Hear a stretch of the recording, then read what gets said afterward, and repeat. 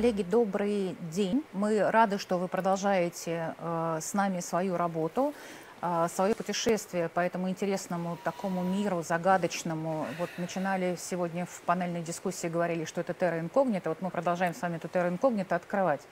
Э, мы сейчас с вами находимся на мини-пленаре, который посвящен цифровой дидактике и педагогике. Э, среди наших гостей очень известные ученые и очень начинающие ученые. Мы специально так собрали такой микс, чтобы можно было послушать разные точки зрения, э, включая в том числе вот авторитетность научную, насколько она сказывается на этом, на всем. Ну, хочу представить своих гостей. Э, э, Елена Тарева, это директор Института иностранных языков Московского городского педагогического университета, доктор наук, профессор – Э, у нее будет очень интересное выступление, э, которое э, спорит с предыдущими ораторами, которых вы слышали на пленаре. Это такой наш вызов предыдущим докладчикам, поэтому вот предлагаю поддержать это выступление, послушать очень внимательно.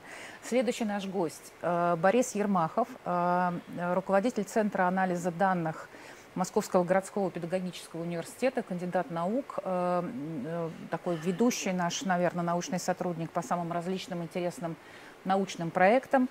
Э, у него будет прекраснейшее выступление, уверена в этом, связанное с конкретной практической наработкой, которая была сделана с применением искусственного интеллекта. Она еще в стадии работы, но уже есть какие-то результаты, о которых можно, ну, которыми можно уже гордиться. А следующий наш докладчик э, Валерия Маркова. Это сотрудник лаборатории развития личностного потенциала э, в образовании. Э, это молодой исследователь, но очень перспективный исследователь. Будет интересное тоже выступление, посвященное изменению, знаете, культуры отношений. Это такая тоже ну, вещь, на которую сильно э, влияет цифра, и вот эти наши новые подходы, которые появляются, они будут достаточно интересны. И наш последний участник – это Арсений Крикунов, ассистент Департамента информатики и управления технологий Московского городского педагогического университета. У Арсения очень тоже интересное вот такое выступление, как цифра меняет на изменение стратегии поисковых запросов студентов, ну и всяких разных пользователей. Вот такие у нас будут интересные выступления. Мы призываем вас к тому, чтобы вы тоже активно принимали участие, задавали нам вопросы. Мы ждем ваши вопросы на трансляции в YouTube, ждем ваши, трансля... Э, ваши вопросы на трансляции в ВК. А, будем рады ответить на все эти вопросы, и поэтому ну, спасибо, что вы с нами. Итак, слово Елене Таревой. Спасибо. Уважаемые коллеги, у меня ощущение, что весь э, сегодняшний первый день нашего заседания, нашей большой конференции посвящен, по сути, одному вопросу. Быть или не быть цифровой дидактики. Э, как мне видится, этот вопрос уже поставлен предыдущими спикерами. Мне кажется, что в, рамках нашего мини-пленара мы продолжим обсуждение этого вопроса. И э, легко понять по специфике проблематики, которую мы будем обсуждать, что мы э, голосуем за присутствие цифровой дидактики, за ее существование под солнцем и за э, особенность, особый, э, особую сферу, которую охватывает эта область знания. В рамках своего выступления мне хотелось бы поддержать тот тезис, очень важный тезис о том, что цифровая дидактика – это будущее перспективное направление развития Э, дидактики общей. Это отдельная, очень интересная история научная, которая прежде всего ассоциируется с теми компонентами методической системы, к которым мы э, традиционно привыкли в рамках понимания дидактического процесса. Ну и самым главным, как мне представляется, в этой системе являются э, субъекты образовательного процесса, преподаватель, студент – учитель, ученик, то есть те люди, которые и э, творят вот этот дидактический процесс, участвуя в нем и насыщая его своим собственным личностным смыслом. Отсюда э, название моего выступления «Субъект цифровой межкультурной коммуникации как образовательный ориентир», в рамках которого этого выступления мне хотелось бы показать, э, э, каким образом происходит изменение, трансформация основных характеристик, параметров, способов самопрезентации, способов самоидентификации субъекта образовательной реальности в цифровом пространстве, в цифровом мире. И ну, в силу того, что я представляю Институт иностранных языков, мне безумно интересно рассмотреть этот аспект э, в проекции межкультурной коммуникации, а именно, что происходит с участником а, межкультурной коммуникации, который взаимодействует с представителями иной культуры, если коммуникация реализуется в цифровой среде. Вот в таком а, направлении развивается моя мысль, и мой доклад именно этой проблематикой посвящен. Чтобы э, не быть голословной, я напомню, уважаемые коллеги, что мне бы хотелось почему-то воспользоваться кликером, он у меня не очень работает. Если такая возможность мне э, как-то помочь, потому что наступила пора следующего слайда. Угу. Все, спасибо. Э, напомню, что сама по себе цифровизация – это сегодняшнее э, неотвратимое событие. Это для кого-то неотвратимое, для кого-то максимально желательное. Мы все участники э, цифровизации отсюда. И абсолютно истина, что цифровизация есть абсолютная ценность для любого аспекта развития социума, человечества вообще. Я показываю те проекции, на которых крайне важно сосредоточить внимание, если мы говорим о субъекте как о социальном существе, о человеке, который взаимодействует с другими в рамках цифровой коммуникативной среды. Как вы видите, коллеги, э, субъект оказывается во взаимоотношениях э, в рамках цифрового пространства в разных аспектах и сферах своей жизнедеятельности. Отдельно из них я показываю на этом слайде. Нам, безусловно, очень интересен тот блок этой схемы, который нас э, соотносит с образовательной реальностью. Он существует, он в моей э, схеме предусмотрен. Но не только она, а скорее э, не столько эта область, область образовательная, ориентирует субъекта на трансформацию своего поведения, своих личностных характеристик, как субъекта цифровых отношений, цифровых коммуникативных отношений. Безусловно, другие сферы играет чрезвычайно значимую роль в судьбе человека, в э, возможностях его саморазвития отсюда и потребность в понимании того, а каким этот субъект становится, если он оказывается в ситуации э, в погружения в социальные отношения э, цифрового характера. В этой связи э, мне бы хотелось, э, уважаемые коллеги, сосредоточить ваше внимание на тех возможностях э, цифрового, цифровой реальности, которые предоставляются субъекту, они, безусловно, есть, но одновременно и о рисках, которые могут нивелировать его субъектную сущность. На слайде сейчас я отражаю этот параметр или вот эту дихотомию, которая, как вы видите, сейчас представлена. И очень важно понимать, что риски чрезвычайно многообразны. Я три блока этих рисков здесь обозначаю. Их, безусловно, намного больше, чем эти три важные э, аспекта, три кирпичика, которые перевешивают вот такой вот, э, скажем, э, балансир, который на слайде представлен. Но э, не будем забывать о возможностях, возможностях, которые субъект приобретает, поскольку его э, психические даже психофизиологические способности прирастают в э, цифровой среде и э, возможности постоянного ассоциирования себя с коллективным разумом, включения себя в пространство себе подобных через цифру, это уникальная возможность, которую человек ранее никогда не имел, теперь она появилась. Отсюда и мой личный интерес к межкультурной коммуникации. Именно в этом пространстве субъект имеет право и имеет возможность э, соотносить свои мыслительные деятельностные параметры с теми, кто э, за миллионы-миллионы километров может от него находиться. Э, по, сама по себе э, цифровая коммуникация вписывается в контекст э, цифровых социальных отношений. И на слайде я демонстрирую те проекции, которые для человека крайне важны, потому что именно они обеспечивают эффективность его жизнедеятельности. Здесь масса представлена, как вы видите, линий, траекторий самореализации человека. Ну, пожалуй, одной из максимально востребованных сегодня является политическая сеть, то есть те политические взаимоотношения, в рамках которых существует современный субъект. Так сложилось, что обстоятельства сегодняшнего дня нас всех заставляют быть участниками этого события, участниками, которые максимально оперативно должны отслеживать те события, которые происходят вокруг нас. Одновременно, и, может быть, для нас это является абсолютно значимостью и главным, пожалуй, объектом для исследования, изучения любого ученого, кто занимается исследованием э, цифровой среды и цифровой образовательной среды, является научная сети и, обще, э, и образовательные сети. Э, я выделила их красным шрифтом для того, чтобы обозначить максимальность значимости этих проекций для развития человека.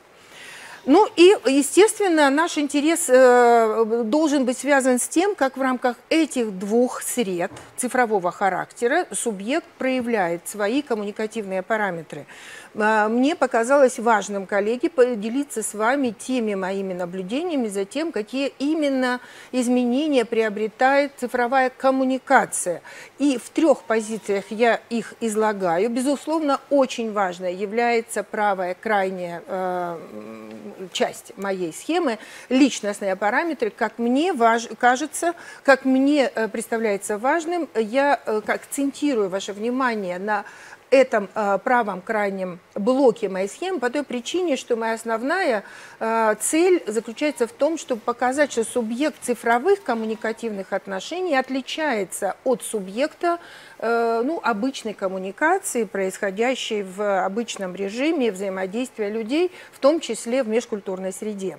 Как вы видите, э, безусловно, превалирует не э, в цифровой среде не информационный стиль взаимоотношения людей между собой, а скорее оценочный.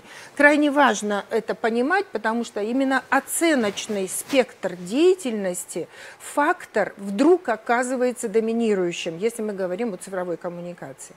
Помимо этого, очень важно понимать, что мы впервые, пожалуй, приобретаем такой очень интересный совокупный портрет того, что мы можем назвать условно количественный читатель, количественный автор, количественный слушатель. То есть тот человек, который себя э, вовлекает в сообщество себе подобных и э, внутри этого сообщества себя позиционирует как равноправный член, прячась за это коллективное сообщество и, э, ну, скажем так, отказываясь от своей индивидуальности индивидуальности.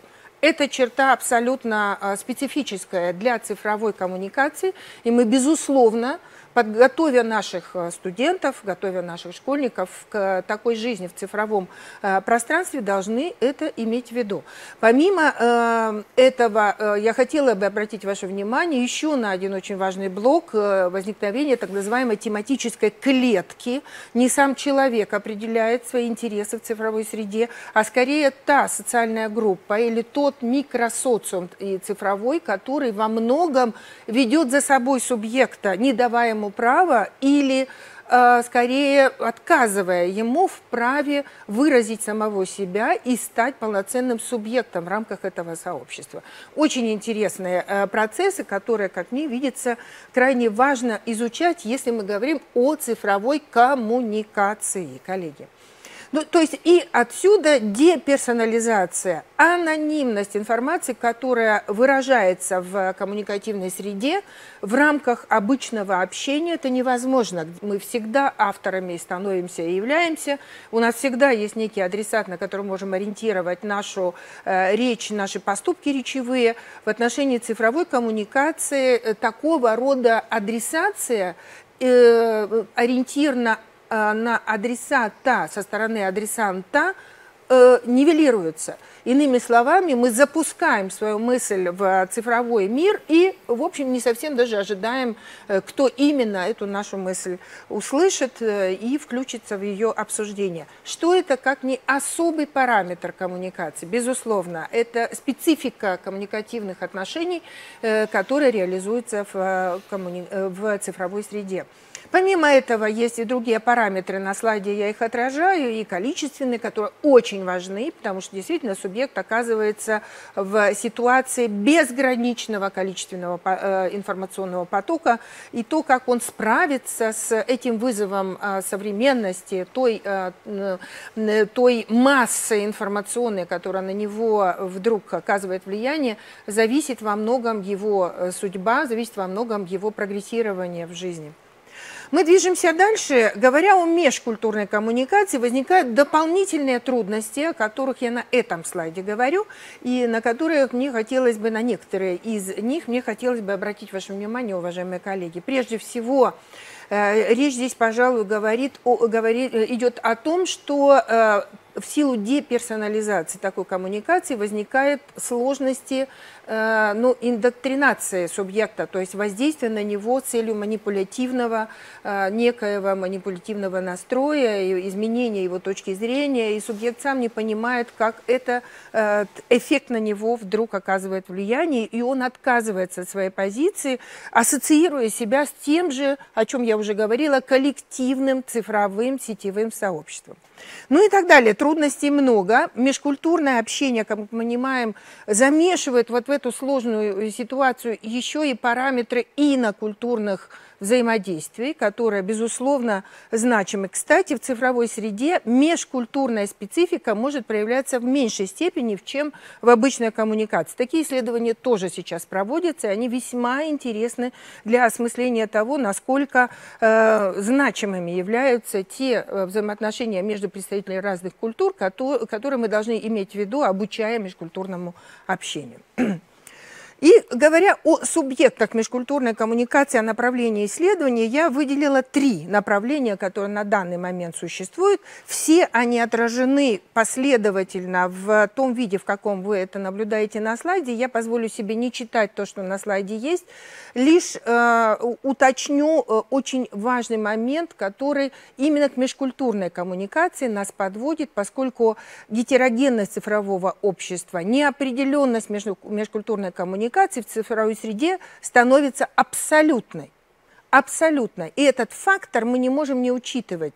Следовательно, говоря о Э, подготовки э, обучающегося в рамках обучения иностранному языку к коммуникации в межкультурном, в межкультурной проекции мы должны на это обращать внимание. Это очень важные параметры, которые мы долгое время в методике, в дидактике игнорировали. И только цифровая дидактика нам позволяет вдруг осмыслить эти новые параметры, на которые мы ранее внимание либо вообще не обращали, ну, либо так как-то абстрагировались от них, говорили, что ну, это за рамками образовательного процесса. Вот закончит школу, закончит вуз, сам окунется в социум и, ну, как-то выработает субъект свою стратегию. Нет, не получается, коллеги, мы должны облегчать нашим эм, субъектам их цифровую участь и, э, как мне представляется, в том числе цифровая дидактика в ответе за э, эту проекцию э, в, образования, образования подрастающего поколения.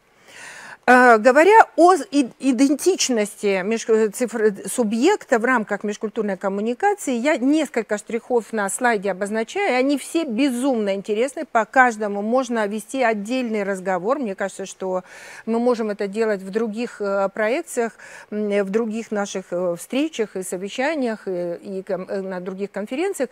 Но здесь есть очень важные моменты, которые, как мне представляется, имеют принципиальный смысл. Э, множественность виртуальной идентичности – это одно из проявлений виртуализации межкультурной коммуникации. Субъект может иметь несколько несколько аватаров. Он может, э, э, как коммуникатор, быть субъектом в разных пространствах, причем эти аватары, эти э, ну, личины, под которыми он скрывается, могут быть прям противоположны друг другу. Безумно интересно – очень опасно, но мы должны это иметь в виду, когда мы говорим о принципиальном, целенаправленном обучении субъектов. Ровно так же интересно изучать и исследовать в коммуникативном новом цифровом пространстве виртуальное «я» субъекта и его реальное «я», потому что в коммуникации субъект всегда проявляет свое «я», и вот это э, двоякое «я» может быть э, оппозиционным. И мы э, тем самым можем э, э упустить реальное «я», в, большей степени ориентируясь на «я» виртуальное и так далее. Вот эта идентичность субъектов в цифровом пространстве еще один очень важный фактор, который должен быть учтен, если мы говорим о целенаправленной подготовке субъектов к цифровой межкультурной коммуникации.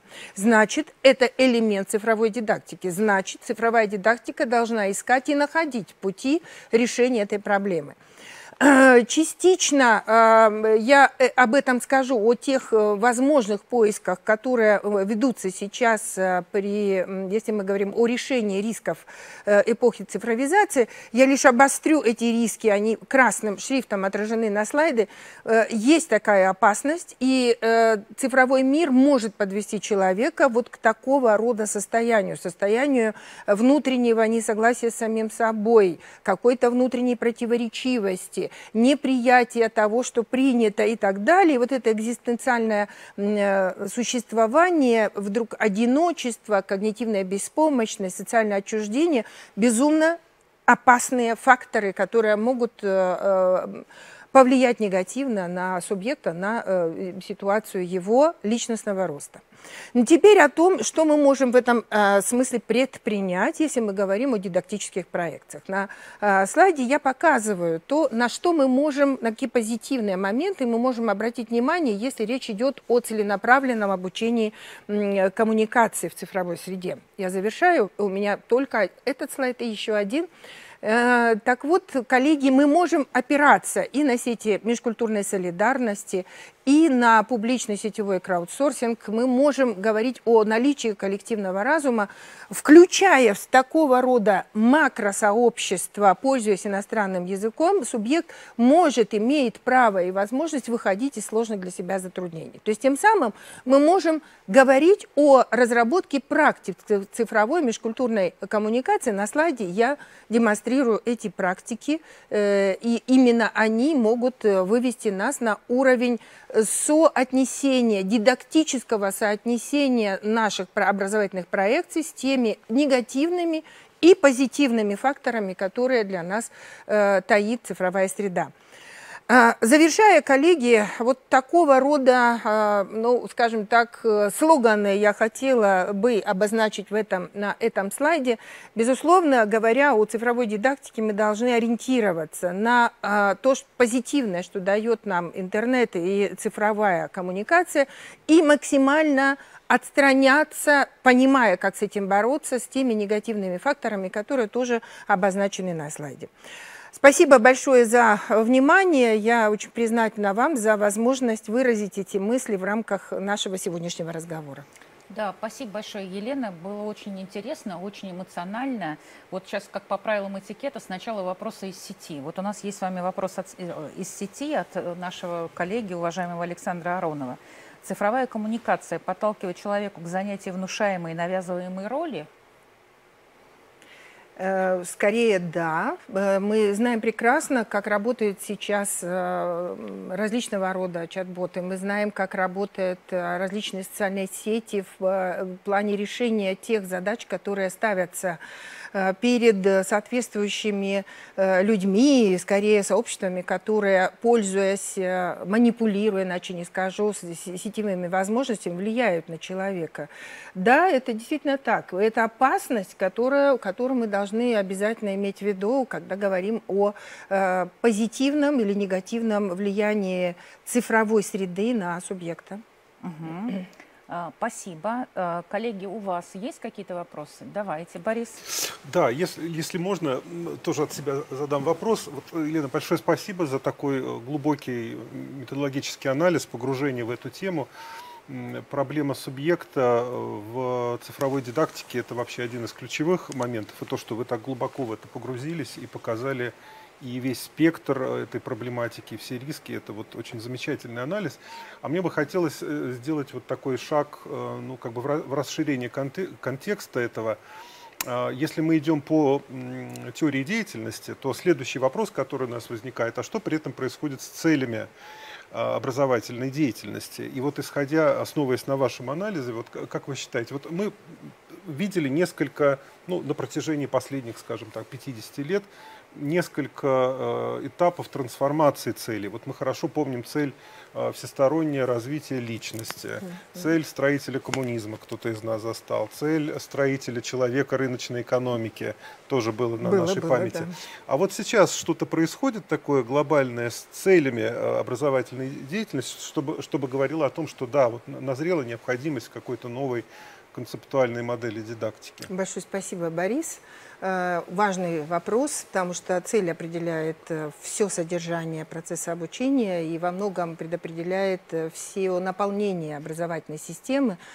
Я бы так сказала, даже не столько цель, сколько планируемый результат. Безусловно, планируемые результаты сегодня в абсолютном своем большинстве ориентированы на учет – той э, среды, в рамках которой э, субъект будет реализовывать все свои жизненные проекции. Поэтому, если мы возьмем личностные планируемые результаты, мы увидим там те компоненты, которые крайне значимы для субъекта, который оказывается погружен в эту непростую, во многом контрадикторную, как сказать по-русски, противоречивую цифровую среду.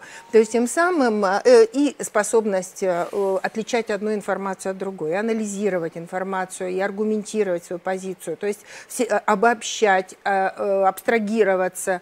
Вот эти все элементы, которые прописывает для нас стандарт в рамках личностных результ, планируемых результатов, это как раз попытка, скажем так, может быть, не самая удачная, но во всяком случае попытка наших образовательных, образовательных эм, мыслителей определить те параметры деятельности субъекта, которые крайне важны для того, чтобы эм, он состоялся в цифровом формате его взаимодействия с другими людьми.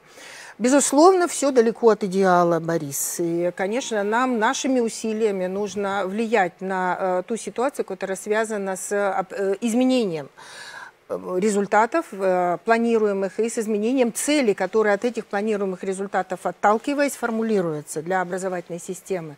Отсюда и э, потребность в нашей сегодняшней э, беседе, как мне кажется, коллеги, то есть э, необходимость в том, чтобы мы такие коммуникативные наши проекции продолжали. Поэтому надо в этом плане продолжать развиваться, понимая, что может быть субъектом. С субъектом могут происходить, к сожалению, не самые благоприятные процессы, и это требует от нас очень серьезного дидактического внимания. Вот как раз тоже у нас еще, смотрите, э, вопросы сети. Актуально, что вы обращаете внимание на деструктивность некоторых моментов цифровизации. Спрашивает нас Викулова. Как оградиться, как увеличить конструктив? Я благодарю Ларису Георгиевну.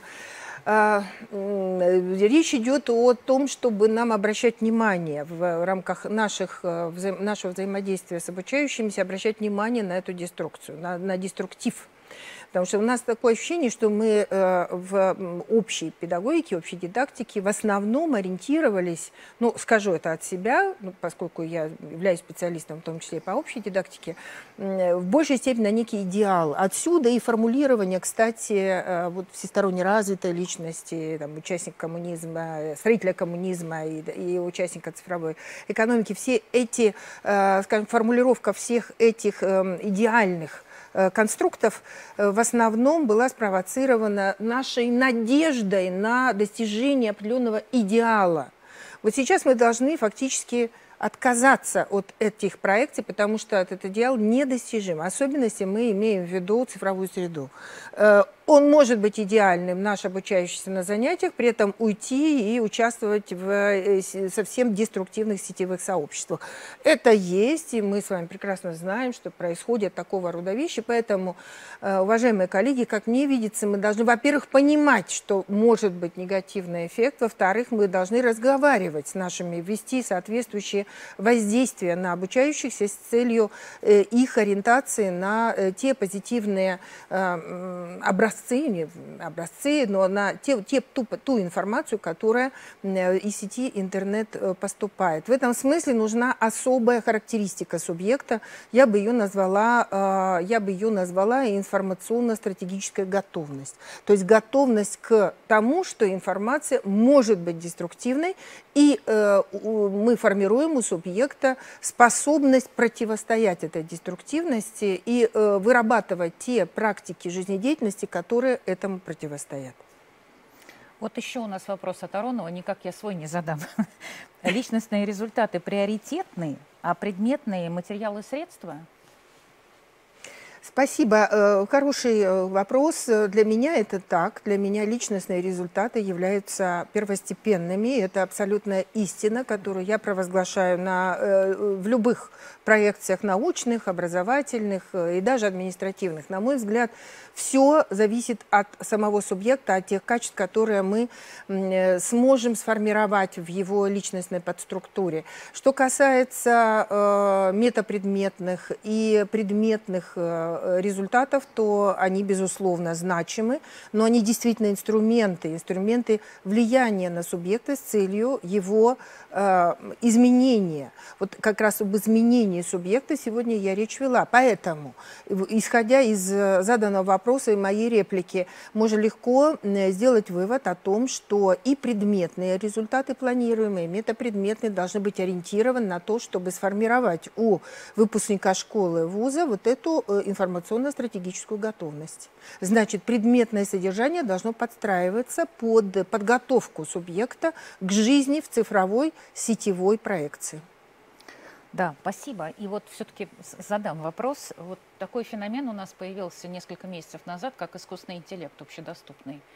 А, вот как-то э, влияет он на вот эту культуру межличностных отношений? Какое-то производит он впечатление, с вашей точки зрения? Изменит ли он это все? Спасибо. Сложный вопрос. Не совсем готова на него ответить, честно скажу. Мне кажется, что на данный момент нет.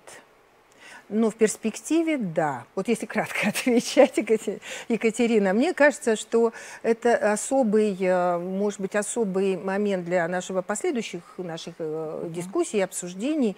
Э, мне хочется верить, что мы искусственный интеллект сможем настроить на формирование тех качеств, свойств, о которых я сегодня говорила, он при этом понимать, что искусственный интеллект может быть деструктором, то есть он может быть враждебен субъекту и может нести в себе отрицательный заряд, отрицательный посыл. Вот э, как мне представляется, наша задача как раз в той же цифровой дидактике. Я по-прежнему настаиваю на том, что она имеет свой особый объект исследования, особый предмет исследования. Мне кажется, мы должны вести разговор как раз о том, чтобы искусственный интеллект э, поместить в ту среду, которая позволит ему действовать скорее во благо, чем вопреки чаяниям самого субъекта. Спасибо. Тогда как раз вот на этой вот точке хочу передать слово Борису. Может быть, он поделится своими наработками и украшением искусственного интеллекта. Большое спасибо. Я рад рассказать все, что знаю про это. А, и э, озвучу для начала тему того, с чем я хотел выступить. Дидактические метаморфозы от бумажного учебника к цифровой адаптивной системе. А, в, какой-то, в каком-то смысле это продолжение вот того разговора, который Елена начала, э, разговором про субъекта и вот этим важным комментарием про цели. Потому что если, опять же, мы двигаемся по вот этой вот структуре классической вот теории деятельности, то дальше нужно переходить к разговору о средствах и о содержании. Вот мне бы как раз хотелось вот перейти к э, этому разговору о средствах и содержании, и э, как-то встроить вот в, в канву э, разговора о цифровой дидактике эти, эти важные э, моменты тоже. Ну, поскольку у меня заявлена тема адаптивных систем, э, не, небольшой как бы такой ну, анали, аналитический слайдик, э, который, э, собственно, у нас про то, что такое адаптивное обучение и насколько важное место оно занимает в современном ландшафте образовательных средств. Э, адаптивное обучение – это современный образовательный тренд, э, связанный с разработкой цифровых образовательных платформ, которые определенным образом трактуют э, структурирование и подачу содержания образования. И по недавнему исследованию к 2030 году до 90% школ всего мира так или иначе коснутся этого инструмента. Поэтому как минимум надо на это посмотреть, понять, как это устроено, чтобы ну, какое-то свое отношение к этому высказать. Ну, география этого Э, явление таково, что на сегодняшний момент порядка 60% всех, ну вот с экономической точки зрения вложений, инвестиций в эту тему, это Северная Америка. Э, очень активен э, в этом отношении Китай и вообще Восток и Азия. И сейчас уже есть целая региональная система образования, например, шанхайская, которая почти полностью перешла от бумажных учебников вот, к цифровым адаптивным платформам. Много исследований ведется в Европе, там где-то порядка 10% рынка адаптивного образования, ну и не, стараются не отставать Латинская Америка, Афри, Африка, Ближний Восток, где тоже э, эти исследования ведутся, тоже появляются свои решения и внедрения. У нас пока эта тема не очень активна, но э, меня радует то, что ключевые игроки образовательного рынка понимают, что это очень важная тема, говорят, что за этим будущее, давайте на это все смотреть.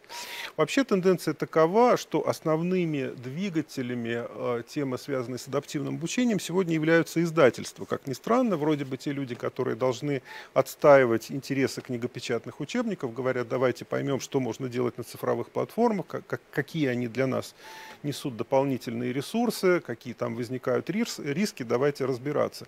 И основные инвесторы вот в исследовании, в развитии системы адаптивного обучения в мире, это прежде всего крупные издательские фирмы, которые думают про свое будущее. И это совершенно понятное решение. Они не хотят как бы терять свой рынок, понимают, что там приходит нечто новое и начинают это осваивать.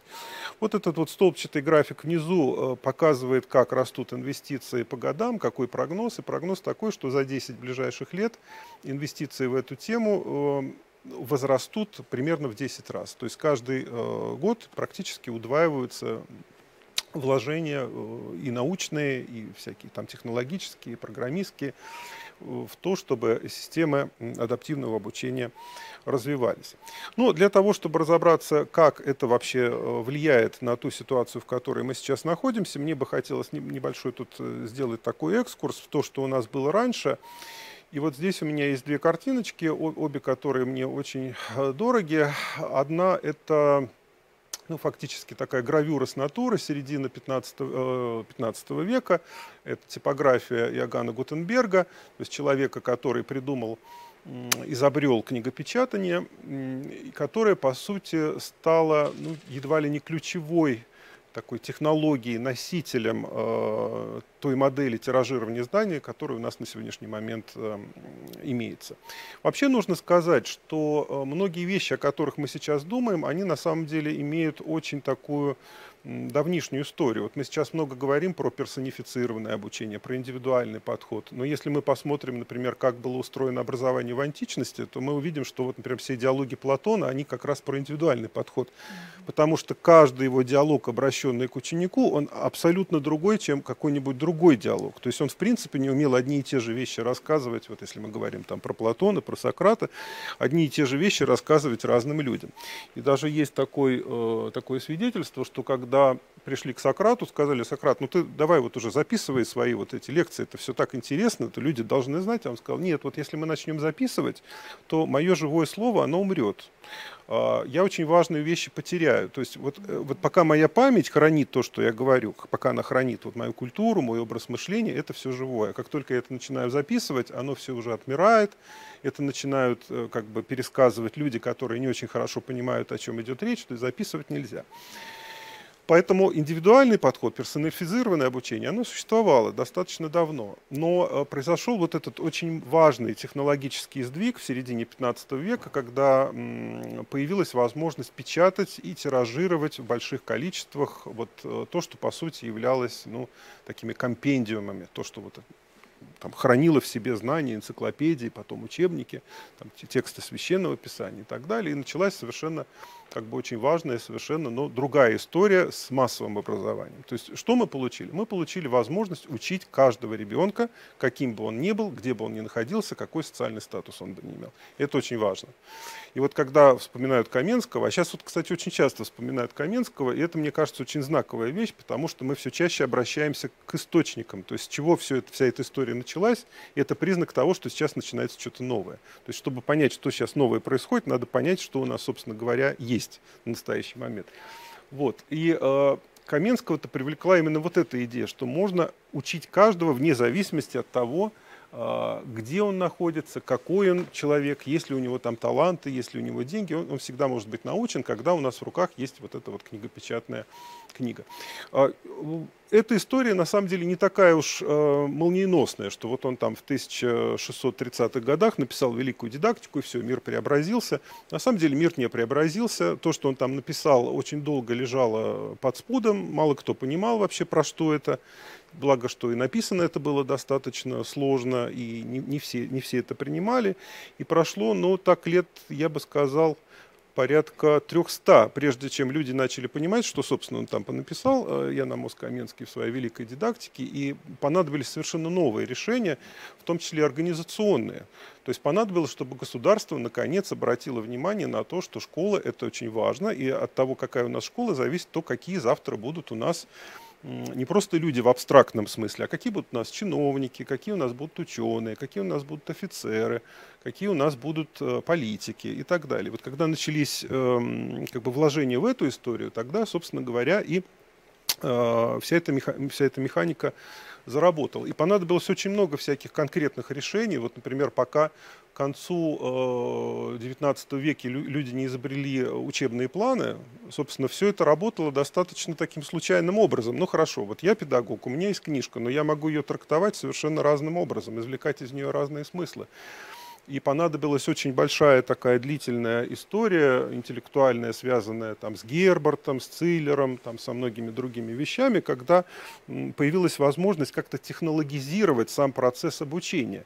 И вот эта вот вторая картинка, которая у меня здесь есть, она такая немножко смешная. Это такая карикатура, которая была нарисована в конце XIX века относительно того, как люди видели себе образование будущего.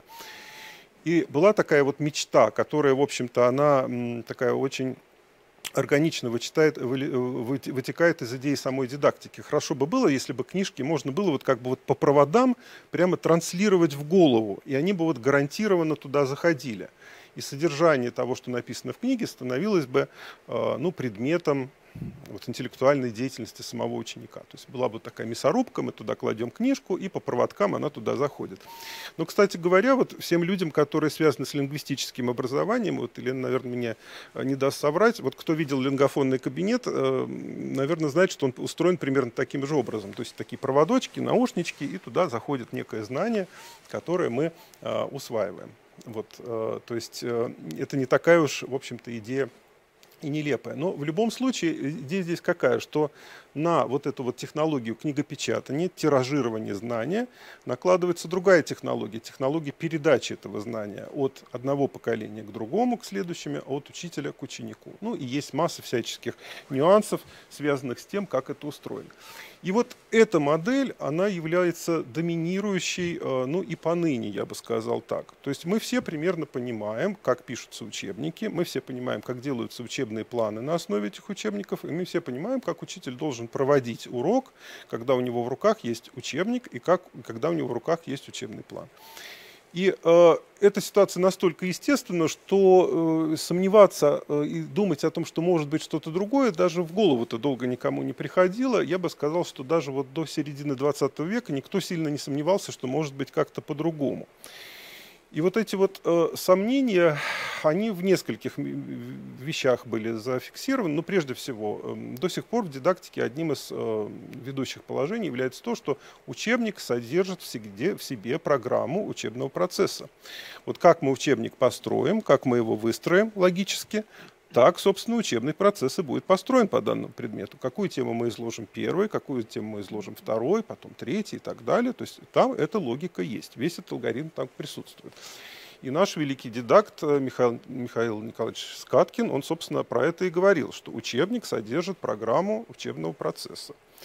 Поэтому учебник непоколебим. То есть мы можем менять многое другое, там, менять квалификацию учителя, менять, менять учебные планы, там, что-то еще. Но вот когда мы учебник написали, мы создали вот некую проекцию того, что мы хотим сделать. Поэтому учебник нельзя трогать. Вот все другое трогать можно, можно вносить туда какие-то дополнительные элементы, там, технические средства обучения и так далее, но вот это трогать нельзя. Почему, например, сейчас есть эм, ну, достаточно серьезные основания считать, что компьютеры сильно ничего не меняют, и э, как бы эта точка зрения, она, конечно, имеет право существовать, потому что, вот, например, было время, когда люди очень сильно надеялись, что телевидение изменит учебный процесс. Вот я даже сам застал это время. У нас был в школе учитель физики, который очень любил проводить уроки физики с технической поддержкой. Это выглядело так. Он ставил перед нами телевизор, в лаборантской сидел лаборант и через видеокамеру транслировал нам учебник на экран телевизора. Так, чтобы мы могли посмотреть на свой собственный учебник, не, не просто вот который лежит на парте, но, но и так, чтобы вот он был на телевизоре запечатлен. И все мы прекрасно понимаем, что телевидение по большому счету ничего в учебном процессе не поменяло. Вот какой он был, такой он и остался. Ну, просто с некоторыми такими забавными дополнениями, вроде телевидения, магнитофонов, там, видеомагнитофонов, проигрывателей, пластинок, еще чего-то. Так вот, э, пока мы не трогаем учебник как основной программирующий элемент системы образования, у нас по большому счету ничего не меняется. Вот когда мы его начинаем трогать, тут уже начинаются всякие интерес, интересные вещи, и э, тут есть повод задуматься о том, что приходит как какое-то новое время, какие-то новые модели и схемы. Ну вот э, касательно того, а насколько вообще все это нужно, насколько мы к этому подошли и э, насколько мы э, как бы испытываем какую-то необходимость. Ну, э, должен сказать так, вот такая вот у меня есть схема, которая, собственно, представляет собой гаусиану, можно на нее смотреть долго и наслаждаться ее как бы идеальным видом. Идея здесь следующая, что на самом деле вот эта вот программирующая роль учебника, она... Что-то меня не слышно, да? Хорошо. Вот программирующая роль учебника, она на самом деле ограничена несколькими вещами. Ну, во-первых, мы всегда знаем, что есть определенное количество учащихся, которые учатся не по учебнику которые э, ну, в стародавние времена используют дополнительную литературу, там, занимаются в каких-то кружках, в каких-то там участвуют олимпиадах, которым учебник сейчас, ну, которым учебник не очень сильно нужен. Вторая история связана с тем, что когда у нас учебный процесс линейный, когда мы знаем, что за параграфом 1 всегда идет параграф 2, потом параграф 3, потом параграф 4, всегда есть риск э, того, что кто-то от этого процесса отстанет, что будет всегда ученик, который отстал от этого паровоза, и все, все уже находятся на параграфе номер 18, а он все еще не понимает, что происходит в параграфе номер 1. И тому есть очень много причин. Не всегда это вина этого самого учащегося. Вот э, здесь тоже произошла такая очень важная смена образов, э, и базовый -то образ, который лежит в основе дидактики, стоит в том, что ну, всех детей надо довести до определенного уровня что нужно на выходе из школы подготовить эту всесторонне развитую, гармонически развитую личность, э, и в этом, собственно, есть цель. А где-то вот в середине 20 века здесь начался очень сильный пересмотр, который привел к тому, что э, идея-то на самом деле появляется другая, что вот к нам приходит ученик, и мы должны понять, какой он, чтобы понять, чего ему нужно и что из него можно извлечь. То есть вот вместо этой вот метафоры заполнения пустого сосуда появляется метафора развития ребенка, как и семечки вырастания. Кстати, Каменский очень любил эту историю, когда ученик это как бы нечто вырастающее, и мы должны лишь правильно э, подобрать все условия для того, чтобы он рос правильном направлении. Так вот, э, эта идея сейчас становится все более инструментальной по мере того, как мы все больше понимаем, э, что, собственно, из себя представляет ученик. И тут надо обязательно сказать всякие добрые слова в адрес тех великих наших психологов, которые первой половине 20 века, даже опережая время, про это очень много думали, про Блонского, Выгодского, там того же Залкинда, сейчас несправедливо забытого, то есть людей, которые стояли у истоков педагогической психологии, которые, собственно, заложили вот эту мысль, что дети все разные, мы должны с этим жить, мы должны понимать, что мы не можем всех их дотащить до определенного уровня, гораздо важнее понять, вот какой у него есть потенциал. Про это, кстати, очень любили писать Стругацкие. А, вот в э, полдень 21 век у них как раз вот такая идея такого идеального образовательного процесса заложена, что с каждым учеником работает его персональный тьютер, наставник, который понимает, в чем его особенности, в чем его потенциал и развивает его туда, куда он может достичь. Ну, естественный вопрос, где напастись там, на наших 14 миллионов учеников, 14 миллионов наставников, которые будут этим заниматься. И вот здесь-то вот и вступает э, на арену тот самый искусственный интеллект, на мой взгляд. Вот здесь вот тот момент, когда вот это enter Sandman, Sandman оно, оно должно прозвучать, что если у нас нет такого количества живых наставников, может быть, какие-то функции этих наставников мы можем э, доверять этому самому искусственному интеллекту при условии, что он этически обоснован, что он понимает, что делать правильно, при условии, что он э, прокачан профессионально, что он построен на всех э, ну, как бы вот современных достижениях того, что из себя представляет психологическая и педагогическая наука, ну и при условиях, что мы сами понимаем, как это правильно делается. И вот тогда действительно у нас возникает э, ситуация, когда мы можем, не теряя массовости образования, когда мы можем, не теряя гарантии образования любого человека, который пришел в нашу образовательную систему, гарантировать ему и некоторое развитие, связанное с его индивидуальными особенностями. Задача эта, по большому счету, еще на сегодняшний момент нерешенная, но мы хотя бы начинаем понимать, как ее решать. А, про эту тему очень много думал в середине 20 э, века такой известный э, психолог Скиннер, который, собственно, при, при, произвел ряд таких важных экспериментов, которые привели к возникновению программированного обучения. А, если вы помните, ну вот кто-то, может быть, застал на себе, кто-то, может быть, про это читал, был такой период, когда пытались педагоги строить такие образовательные машины, в которые ученик мог э, там прочитать некоторый вопрос, э, написать свой ответ, и вроде бы там шел какой-то диалог с этим вот э, устройством. А, и надо сказать, что у нас к этому очень благосклонно отнеслись, э, ну, во-первых, наши кибернетики, такие как Аксель Берг, например, он очень сильно это все поддерживал, говорил, ребята, за этим будущее, давайте на это все смотреть и тоже вникать. И э, наши наиболее прогрессивные психологи. Вот наш Петр Яковлевич Гальперин, которого мы все знаем как основателем теории э, познавательных, э, форми, формирования познавательных умений, он очень на это все внимательно смотрел и говорил, что, э, э, ребята, вот это очень важная тема, и давайте этим всем заниматься и смотреть, что из этого получится. Ну, с самим программированным обучением не получилось, потому что это все была очень цифровая, не, не цифровая пока история, то есть это все делалось на аналоговых инструментах, но сейчас есть как бы все основания к тому, чтобы двинуться дальше и посмотреть, как это может быть реализовано на самом деле в цифровой среде.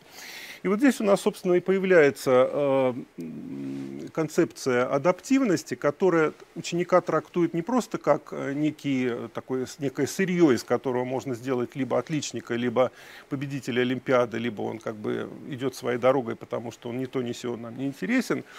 И если говорить про адаптивность, то э, есть как минимум шесть направлений, по которым этому сейчас все развивается. Первое – это скорость. То есть мы понимаем, что дети учатся с разными темпами.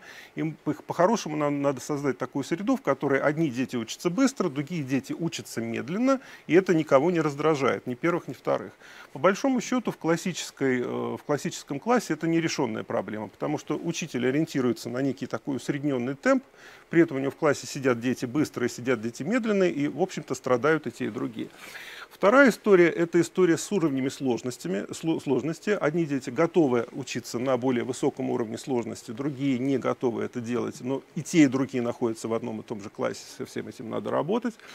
Третье – это история, связанная с учебным стилем. То есть одному человеку достаточно прочитать текст, он уже все понял, а другой не поймет, пока ему это не объяснят словами. И с этим тоже надо как-то жить. А четвертая история, это то, о чем я уже говорил, что вот человек мог по объективным причинам пропустить параграф номер 2 и номер 3, исходя из этого параграф номер 4 он не поймет. А рассказывать ему то, что было раньше, уже ни у кого нет времени в реальном учебном процессе. А, пятое – это то, что по большому счету у разных людей есть разные способности, и с этим надо как-то жить. То есть есть люди объективно одаренные, есть люди, ну, которым вот ну, это, кстати, история с Пушкиным. Вот у него был такой э, учитель математики Карцев, который, собственно, известен сейчас одной только фразой, который сказал, вот да бог него, да, э, давайте отстанем от Пушкина с этой математикой, пусть пишет свои стихи. Это вот все, что мы сейчас помним по, по, про учителя математики Карцева, хотя он был замечательный человек, но это вот как раз история про способности. Если учитель успевает понять, что у, у ученика есть некая там, способность в одном, так, может быть, другого от него и не требует. Ну и э, шестая история – это история, со, собственно, со сложностью контента. То есть мы, мы всегда можем адаптировать то, насколько сложным мы делаем изложение нашего материала для того, чтобы сделать его объективно более доступным для учащегося. Ну, если смотреть в целом, как это все устроено, э, на, на процесс трансформации содержания из бумажного учебника в, в цифровую адаптивную платформу, здесь я буквально быстренько несколько слайдов проскочу. То есть классический бумажный учебник – это такой паровозик, в котором параграф 2 всегда, всегда идет за параграфом 1 и всегда предшествует параграфу 3 и так далее. Хотя на самом деле наука устроена не так. То есть любой человек, который наукой занимается профессионально, понимает, что в науке там не одно идет за другим, а многие вещи происходят э, одновременно. Что происходит дальше? Э, вот учебник бумажный на самом деле, то, что он такой вот у нас склеенный, э, в значительной степени это такая метафора. И мы всегда, если посмотрим в него глубь, поймем, из чего он состоит, то есть из каких учебных объектов состоит вот этот наш любимый неделимый бумажный учебник. А, дальше у нас возникает следующий ход, когда мы вот эту вот э, сшитую последовательность э, декомпозируем, раскладываем на такое вот э, знаниевое поле, которое состоит из множества учебных объектов. После этого мы заново простраиваем там вот эту вот систему связи между ними, и э, ученик получает возможность двигаться не по единственно заданной э, траектории, а вот в, в поле таких вот расходящихся тропок, делая э, выбор на каждом из этих шагов. Э, я бы обозначил здесь э, шесть таких вот ключевых э, вещей, э, которые появляются у нас, когда мы из аналоговой системы переходим в цифровую систему. Ну, первое, мы начинаем иметь дело, в отличие от э, бумажного учебника, с цифровым тиражированием учебных объектов. То есть мы можем их создать любое количество совершенно без каких-либо затрат по сравнению с тем, когда мы печатаем учебник в миллионе экземпляров. Второй очень важный э, момент – это ремиксинг, то есть когда мы берем нечто, э, созданное кем-то другим, и на, на основании него делаем что-то свое. Здесь совершенно другая логика. Мы все знаем, что списывать плохо э, в традиционной бумажной логике. В цифровой логике брать чужое, делать из него что-то свое, э, это очень э, правильное действие. И вот наш Евгений Ильич Потаракин очень хорошо про это умеет рассказывать. Повторное использование. То есть то, что мы один раз сделали, мы делаем не просто для того, чтобы это пройти и забыть, а для того, чтобы это использовать снова. Далее, это встраивание в личные учебные среды. То есть когда у нас появляется цифровой учебный объект, мы стремимся к тому, чтобы он стал частью индивидуальной, личной э, учебной среды учащегося и был в нее органично встроен. Дальше появляется возможность генерировать э, учебные объекты автоматически. Вот у нас сегодня тема такая была, связанная с генеративным искусственным интеллектом. Ну и шестое, я бы здесь упомянул возможность использования технологий искусственного интеллекта при выборе образовательных траекторий. То есть вот когда мы находимся в этом поле знаний, э, искусственный интеллект помогает нам не просто стоя над нами, а вот говоря, что вот твой путь, э, скажем, по левой тропке, он более правильный, чем путь по правой тропке. Ну и э, под конец я бы упомянул э, конкретный проект, который мы сейчас реализуем у нас в Институте цифрового образования. Мы его делаем вместе с двумя партнерами, один из которых это издательский дом просвещения, издательство, которое печатают учебники э, в особо крупных количествах, но вот э, просвещение сейчас все больше задумывается о том, что будет потом. То есть издательство думает о новых э, цифровых адаптивных решениях, и за это им большое спасибо. И второй наш важный партнер – это компания 01 Математика, это такой инновационный стартап, который базируется в Сколково, у которого есть очень интересное решение. Это решение цифровая адаптивная платформа по математике, которую они разработали. А, это действительно очень эм, интересный продукт. Вот мы в течение года тестировали, как э, она внедряется в школах, прежде всего Москвы, обнаружили, что там действительно есть прирост в знаниях и умениях учеников, и даже вот а, реализовали такой проект с ними, о котором я скажу чуть дальше. Ну, мы вместе с нашими партнерами сейчас ведем два направления. Одно, одно э, связано с биологией, второе связано с информатикой. То есть мы пытаемся трансформировать бумажные э, школьные учебники в цифровые адаптивные платформы. И вот уже в ближайшем времени, я думаю, что мы сможем рассказать о том, как это происходит. Ну и э, на практике, вот буквально сейчас, вот в, в, к июню этот проект был э, реализован. Это проект, э, готовимся к сдаче государственной итоговой аттестации с искусственным интеллектом. Проект, который проходил в 19 регионах России. вот на платформе, которую разработала 01 математика, был создан такой продукт, который позволил готовиться к сдаче э, экзаменов ОГЭ и ЕГЭ э, школьникам, которые вот учились в 9 и 11 классах, 19 регионов, там больше 4 тысяч э, школьников. И вот какие результаты у нас получились. Результаты на самом деле очень интересные. От 30 до 40 процентов прирост по сравнению с пробными экзаменами. То есть э, школьники, которые систематически эту платформу используют, э, в среднем сдают э, результаты ГИО примерно на 30% лучше, чем школьники, которые этого не делают. То есть даже если вот всю эту историю возвращать с таких вот поднебесных каких-то теоретических вопросов на практику, оказывается, что да, если мы в учебном процессе ориентируемся на реального ученика, на его реальные проблемы, используем при этом современную цифровую платформу, которая должным образом обустроена, как вот платформа 01 математика, например, то это дает очень неплохой результат уже сейчас. И про это все э, важно и интересно думать. Э, спасибо, я закончил. Буду рад ответить на вопросы, если таковые возникнут. Да, спасибо большое, Борис. Вот у нас есть вопрос э, из сети. Мы, как, как обычно, отдаем приоритет людям, которые не с нами, не в аудитории. Э, контрольно-измерительные мероприятия должны адаптироваться вместе с учебником. То есть каждый в своем темпе... Это следующий вопрос, наверное, уже, да. Давайте вот сначала. Контрольно-измерительные мероприятия должны адаптироваться вместе с учебником? Ну, короткий ответ – да. То есть наряду с темой адаптивного обучения сейчас активно развивается тема адаптивного тестирования. А, ну, здесь я бы э, такой вот э, уточняющий момент внес, что на самом деле вот э, вопрос о том, заменит ли цифровая адаптивная платформа учителя, не стоит.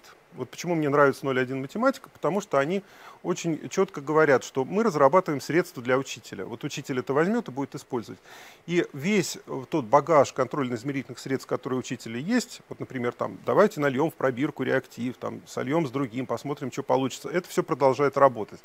Просто здесь появляется еще целый такой большой э, арсенал средств, прежде всего вот, связанных с, с адаптивным тестированием, которые подключаются на службу учителя. Ну, вот здесь все-таки комментарий к тому же вопросу был. Смотрите, то есть каждый в своем темпе обучается и по своим способностям. Относительно себя он растет. То есть я прогрессирую, то есть заслуживаю высокой оценки. И меня нельзя сравнивать с моим коллегой, а как же наши единые там ФГОСы, э, ЕГЭ и так далее? Ну, э, вопрос действительно очень важный, очень интересный. Вот э, я, я не стал вставлять сюда вот эту картинку, я ее тоже очень люблю, многие наверняка помнили, видели, как сидит такой дяденька, перед ним сидит пингвин, обезьяна, там кит, дельфин, э, там еще кто-то, и он говорит, вот сейчас мы проводим для вас экзамен стандартизированный, надо залезть на дерево. Кто быстрее всех залезет, тот и молодец. И понятно, что обезьяна залезет быстрее всех и выиграет не потому, что она лучше училась, а потому что она как устроена. А пингвин всегда проиграет не потому, что он такой глупый, а потому что он устроен так. То есть после того, на мой взгляд, как вот эта вот вещь, связанная с цифровой дидактикой, зайдет в массовую практику, встанет вопрос о множественности шкал э, оценивания учащихся. То есть Пушкина оценивать так же, как Эйнштейна по той же самой шкале бессмысленно, потому что они проразные. Но для этого э, должна быть воля общества и воля государства для того, чтобы поддерживать разные системы оценивания учащихся на выходе. Да, спасибо. Еще вопрос вот от нашей коллеги Елены Алексеевичевой. Насколько меняется содержание учебника при э, вот такой трансформации? Оно меняется, оно, безусловно, меняется, потому что бумажный учебник, э, при, при, всей, при всей любви значит, к этому жанру, э, это всегда некое усреднение. То есть мы всегда работаем на некого среднестатистического ученика, который не понимает высоких материй, но которому надо давать ну, нечто большее, чем э, простая элементарщина. Вот цифровой адаптивный учебник, он от, этой, от этого ограничения свободен, он может себе позволить работать на все категории учащихся, которые у нас есть. То есть давать и элементарный материал, и давать материал повышенной сложности, все в рамках одной и той же платформы. Вот если мы говорим там про понятные вещи, такие как математика, например. То есть, да, содержание меняется, э, меняется сам цикл обновления содержания, потому что цифровые платформы, они по умолчанию более, ну, как бы реактивны по, по отношению к изменениям. Вот. И э, это совершенно нормально, поскольку мы говорим об изменении всей, всей дидактической схемы, то да, содержание образования тоже меняется. Спасибо. Коллеги, есть у вас вопросы? Да, вопрос да, есть. Давайте, Борис, спасибо большое. С большим удовольствием послушала ваше выступление. А мой вопрос э, вот с чем связан. А есть мнение, что ученик, который осваивает э, различные цифровые ресурсы, должен быть э, более самостоятельным, должен занимать исследовательскую позицию, а, наверное, больше, чем даже в обычной жизни. Вот как можете это прокомментировать? Ну, э, две вещи я тут скажу. Одна как бы более умная, другая менее умная. А, ну, более умная это вот та метафора, которую э, лет так уже 25 назад бросил Марк Пренский о том, что есть э, цифровые аборигены, что есть вот уже сейчас поколение детей, которым освоение цифровых инструментов ну, не представляет каких-то вот э, ну, учебных там, сложностей. То есть, э, если зайти, ну, вот, если вы родители, если вы заходите в районную детскую поликлинику, вы видите, что сейчас вот трехлетние дети сидят с планшетами в руках, пока их мамы ждут очереди к врачу. Ну, это просто объективная реальность. И понятно, что для такого ребенка э, вести курс использования, изуч, там, изучения возможностей планшета ну, совершенно бессмысленно, потому что он знает это все как бы с, с рождения. Мы эти сами, сами все не, не раз наблюдали во всяких практических там, ситуациях. То дети очень быстро и очень эффективно учат друг друга, например. То есть они не нуждаются даже в учителях. То есть один ребенок рассказывает другому, как, например, установить приложение на смартфон там, в каком-то очень специфическом языке, очень быстро и очень эффективно. Так что я, я бы сказал, что ну, больших проблем здесь не будет. И это вообще даже, по-моему, никак не связано ни со способностями, ни с, ни, ни с успеваемостью учащегося. То есть одинаково хорошо этим вещам учатся и талантливые, и неталантливые, и успешные, и неуспешные. То есть это просто, ну, как сейчас такой uh-huh. мейнстрим культурный. Я бы так сказал. А как учителю использовать этот потенциал? Как сделать так, чтобы дети начали обучать друг друга? Валерия, забирайте свое время. Ну, я думаю, что учитель просто должен быть открыт к новому. Ну, то есть учитель по умолчанию должен быть открыт к новому, это потому что это все-таки, наверное, часть педагогического профессионализма. А, вот. Э, просто ну, смотреть, над возможно, смотреть на возможности. Если есть ресурс, если есть возможность, надо его использовать, а его не терять. То есть тот, кто нам мешал, тот нам поможет. У любого инструмента, как бы возьмите лопату, у нее те же самые две сущности. Она, она может быть орудием там, нанесения травмы и орудием копания там, чего-нибудь полезного, типа канавы. Только надо уметь этим пользоваться. Профессиональный учитель должен уметь пользоваться инструментами. Что я могу сказать? Спасибо, очень близка ваша позиция. Спасибо. Да, спасибо, Борис. Вот короткий вопрос и короткий ответ.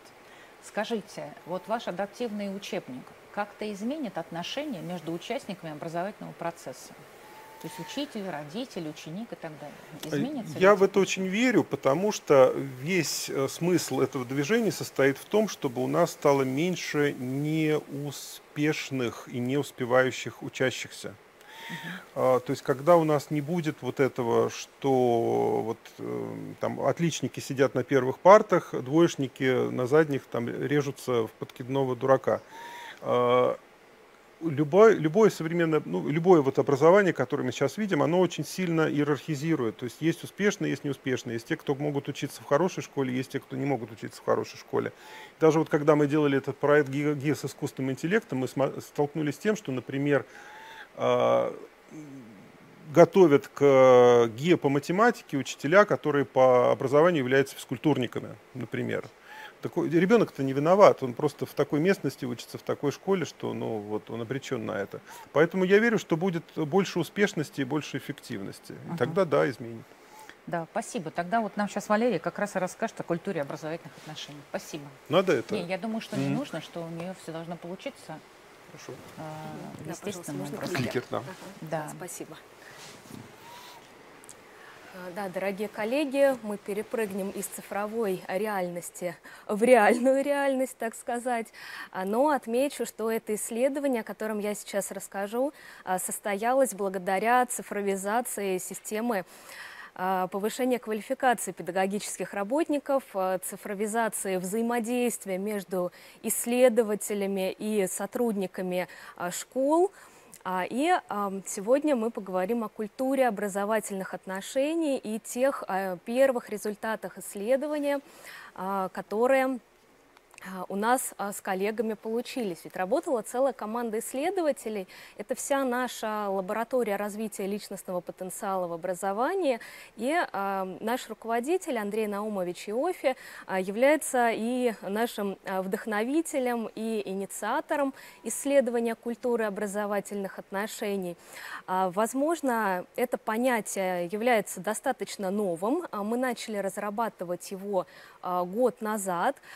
И а, немного отойти от традиционного понятия организационной культуры, либо культуры организации. Ведь очень часто, когда исследуют организационную культуру, то обращают внимание прежде всего на позиции э, трудоустроенных работников. А школа а, пространство, школа, организация особенная.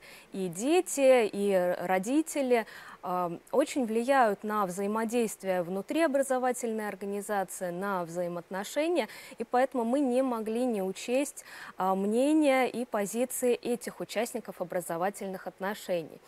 А, в понятие культуры образовательных отношений а, мы заложили а, ценности, которые проявляются в позициях, в мировоззрении, в различных действиях, в повседневных и в учебных ситуациях, которые так или иначе связаны с образованием. У нас с коллегами есть статья о культуре образовательных отношений. Будет возможность ее почитать по активной ссылке. И Андрей Наумович Офи, когда а, формулировал идею а, культуры образовательных отношений, а, выделил четыре типа культуры. Административный, традиционалистский, коллективистский и индивидуалистический. На слайде вы видите слова и краткие формулировки, которые описывают каждый из этих типов культуры. Например, административный Здесь ценится порядок, следование правилам, устоявшимся а, нормативно взаимоотношениям в коллективе. А в традиционалистском, например, а, ценится несклонность к изменениям, приверженность различным традициям и ритуалам, порядком, который устоялся в течение многих лет и так далее. А то же самое можно сказать и о а, коллективистской, индивидуалистической а, культуре. И здесь отмечает Андрей Наумович очень важный момент, что культуру нельзя рассматривать в контексте «хорошо это» или «плохо». Каждый тип культуры обладает и положительными сторонами, и имеет недостатки. И знание этих положительных сторон и недостатков позволяет принимать правильные решения, позволяет вносить э, изменения в работу образовательной организации, э, менять взаимоотношения, менять э, и, возможно, создавать новые события внутри организации. Все это представляет очень большой исследовательский интерес. И, конечно, важно отметить, что на культуру образовательных отношений а, влияют все участники. И администрация, и педагоги школы, и, конечно, а, дети и родители. Понятно, что у руководителей, у педагогов э, степень влияния побольше, поскольку именно они определяют, как будет э, строиться а, образовательная деятельность, они транслируют э, культуру взаимоотношений в большей степени, чем дети и родители. Но понимая, насколько активное влияние имеют э, родители и ученики, мы, конечно, не можем не учитывать то, что они и сами создают культуру, и дают образовательной организации обратную а, связь на основе того, какой они видят а, культуру этой организации. И таким образом мы можем говорить о том, что с одной стороны а, люди, которые участвуют в образовательных отношениях, с одной стороны сами создают эту культуру, а с другой стороны они понимают как принято действовать в образовательной организации, как принимаются решения, как э, люди мыслят и таким образом а, видят, а, какому, какой культуре привержена образовательная организация и взаимоотношения между ее членами. И учитывая эти позиции, мы сформулировали идею исследования. Нам было интересно посмотреть, а, с одной стороны, какому типу культуры наиболее привержены участники образовательных отношений, а с другой стороны, какой они видят а, школьную культуру образовательных отношений. И понятно, что мы не сможем говорить о том, что, например, человек является исключительно индивидуалистом. Мы говорим о том, что типы культуры а, сочетаются, а, что в разных ситуациях человек может действовать а, по-разному. Например, в одной ситуации он посчитает, что важно опираться на требования, на нормативы, это характеристика административного типа культуры, а в другой ситуации, например, он будет опираться на свои возможности, либо на людей, которые вокруг него. Соответственно, индивидуалистический и коллективистский типы культуры. Поэтому, да, мы не говорим о каком-то одном э, типе, мы говорим о сочетании. И точно так же интересно посмотреть, а, какое сочетание типов культуры а, возможно в школе, какой видят школу участники образовательных отношений. И эти результаты, по нашему мнению, должны становиться основой для диалога. В первую очередь нас, исследователей, а, с руководителями образовательных организаций, с кураторами, а, которые а, участвуют в этом исследовании, которые организуют его а, в своих школах. И, с другой стороны, а, руководители образовательных организаций точно так же могут а, выстроить диалог с педагогическим коллективом на основе данных. А педагоги, в свою очередь, могут учитывать эти данные во взаимодействии, во взаимоотношениях и с детьми, и их родителями. Поэтому самое главное в данном исследовании, которое мы провели, создать эту самую точку, с которой начинается диалог.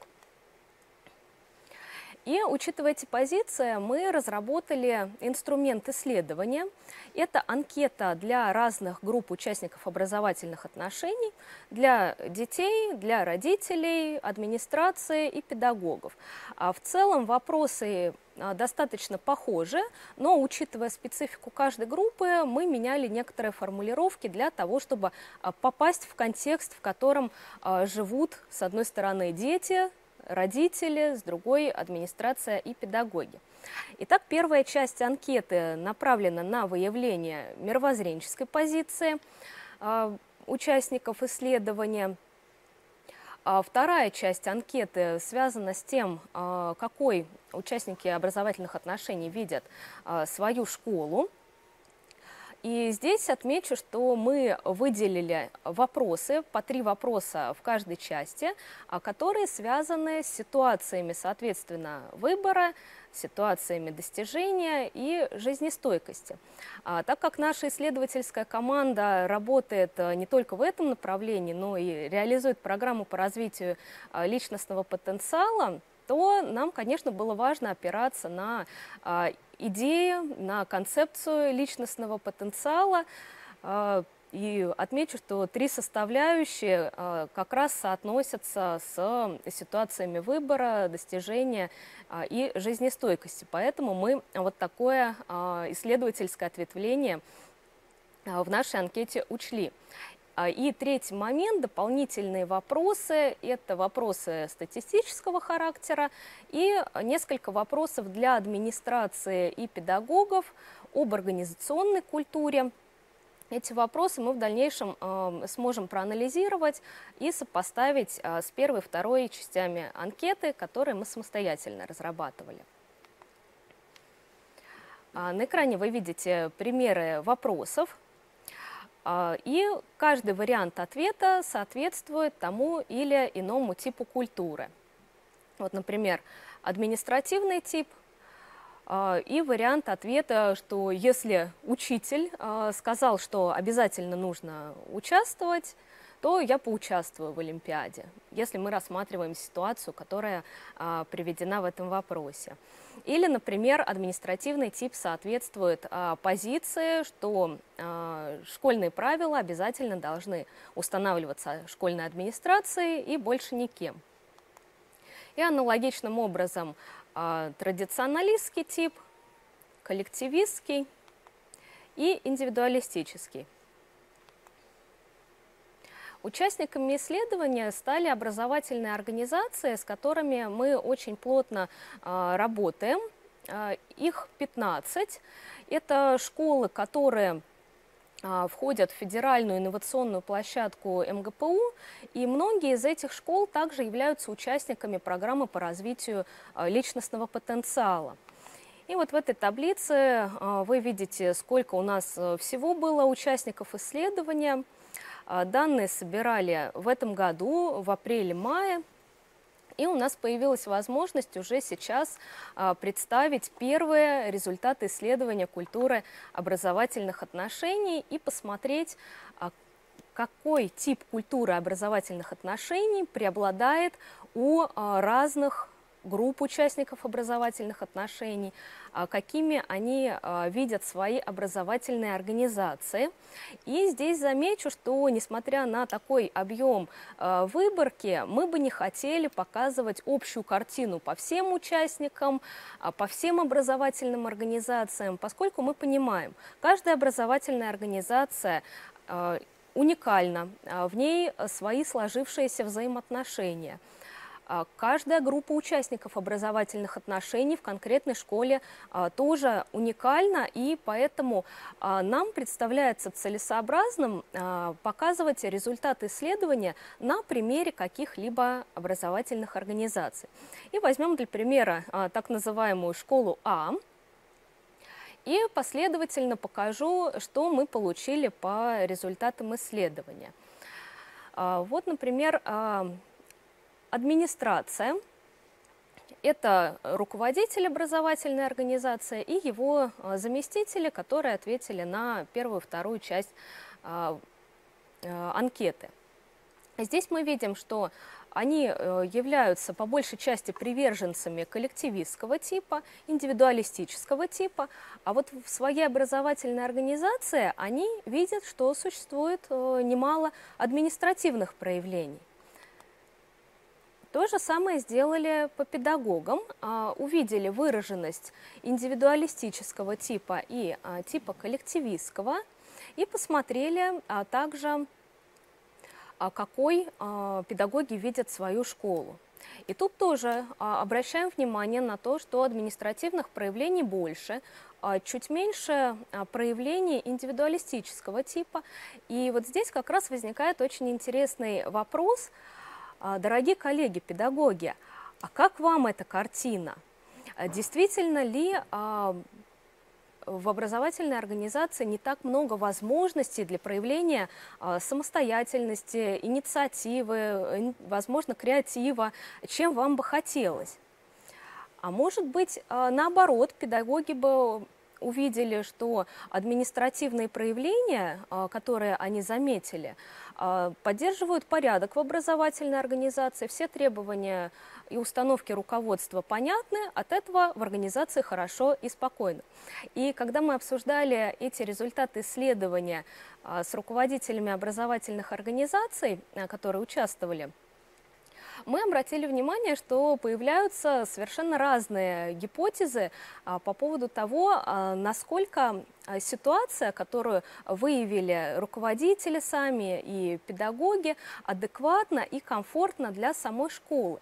Может быть, при взгляде со стороны мы скажем, что эта картина не вполне адекватно, что нет возможности для проявления индивидуальности, а руководитель организации и педагоги могут сказать, да нет, все в порядке, эта ситуация вполне комфортна для нашей школы, и мы бы хотели а, ее поддерживать. Посмотрим, что получилось по ученикам. В части анкеты под названием «Я сам» преобладает индивидуалистические проявления культуры и э, достаточно большая доля э, коллективистской культуры. А вот в школе ученики видят э, достаточно э, большое количество административных проявлений, э, решений сверху, может быть, что-то в приказном порядке происходит, и это дети тоже фиксируют. И видим процент индивидуалистического типа культуры тоже не очень большой, как и э, по результатам исследования педагогов. Хотя, с другой стороны, эта картина может наталкивать на а, мысли, что а, в школе поддерживается некий баланс четырех типов культуры, и этот баланс вполне адекватен, и можно продолжать работать в том же духе. То же самое по родителям. Очень похожая картина. А, ну и хотелось бы познакомить вас также а, с результатами исследования в плоскости ситуации выбора, достижения и жизнестойкости. Посмотреть, а как в разных ситуациях проявляется культура образовательных отношений. Это уже другая школа, мы обработали данные по педагогам и видим, что, например, в ситуациях выбора педагоги привыкли опираться на свои возможности, а вот в школе э, замечают больше административных решений в ситуациях выбора. Ситуации достижения а Здесь мы видим, что педагоги склонны к индивидуальным достижениям, но также им важно опираться на коллектив, достигать целей вместе, а, возможно, со своими коллегами, со своими близкими людьми. А вот в образовательной организации а, такое, возможно, не поддерживается. И это как раз, опять же, отправная точка для диалога с педагогами. А в каких ситуациях вы бы хотели достигать цели совместно? То же самое жизнестойкость, возможность обсудить, возможность поговорить с педагогическим коллективом, проанализировать а, результаты и понять, а, например, в каких ситуациях, в каких проблемах вы бы хотели, а, чтобы у вас была надежная опора в виде коллектива. А,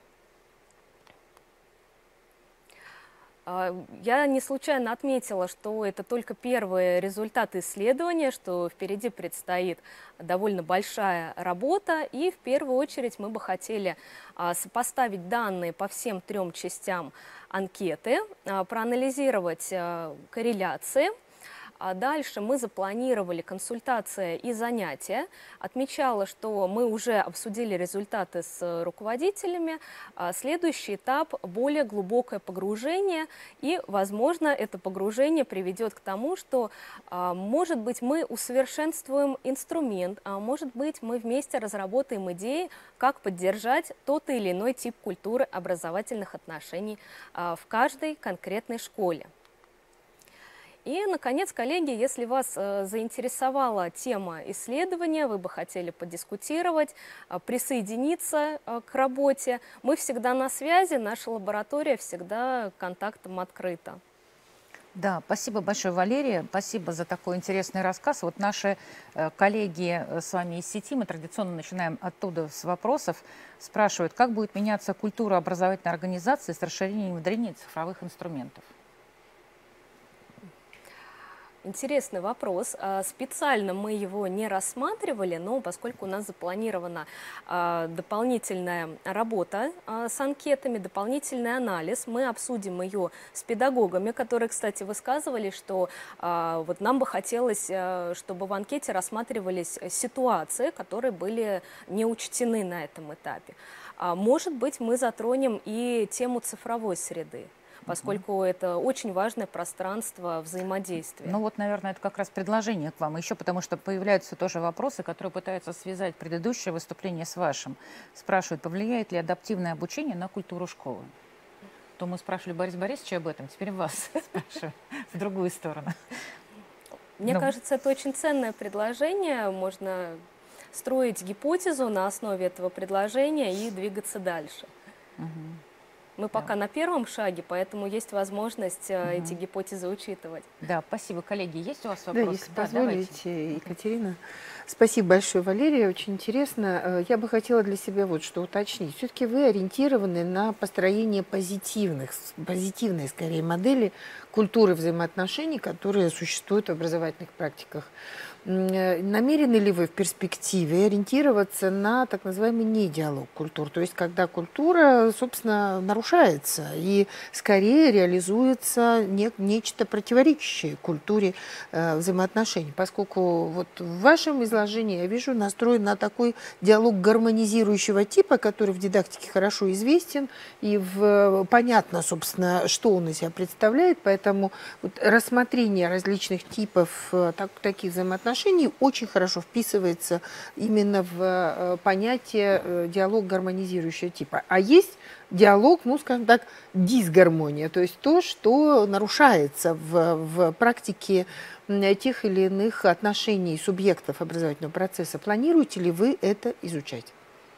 А мы планируем изучить прежде всего, что происходит, когда, например, большинство допустим, учеников, приверженные определенному типу культуры, например, индивидуалистическому, как мы это видели в презентации, а с другой стороны, когда в образовательной организации, допустим, либо педагоги сами, а, либо в организации в целом этот э, тип культуры не настолько поддерживает, поддерживается, насколько хотелось бы. Вот это как раз э, тот момент, который будет интересно а, изучить. И опять же, мы бы хотели делать это в диалоге, поскольку, с одной стороны, да, данные, да, результаты, а с другой а, та интерпретация, которую дают сами руководители и сами педагоги. И мы в этом убедились, когда разговаривали а, с кураторами этого исследования, когда мы точно так же показывали вот результаты школы А, а поскольку у нас а, было групповое обсуждение, понятное дело, мы не разглашали, чьи конкретно это результаты. И одни говорили, что, на мой взгляд, это комфортная ситуация, адекватная для школы. Почему бы и нет, почему бы и не поддерживать э, преобладающий административный тип. А другие говорили, что нет, нужно давать больше возможностей для взаимодействия участников, поддерживать коллективистский тип. Вот в этом ключе хотим исследовать. Спасибо. Спасибо. Валерия, а вот подскажите, э, влияют ли ваши вот эти образовательные отношения на изменение образовательной цели? Вот мы сегодня возвращались к вопросу цели. Вот как-то связаны эти понятия отношений и цели? А, интересный вопрос. А, специально не рассматривали, но, думаю, тоже можем а, в дальнейшем подумать на эту тему. Угу. Спасибо. Ну вот я думаю, что нам тогда Арсений расскажет, собственно говоря, как альтернативные поисковые системы эффективно используются в образовательных целях. Да, да Арсений? Да, да, Спасибо. Добрый день.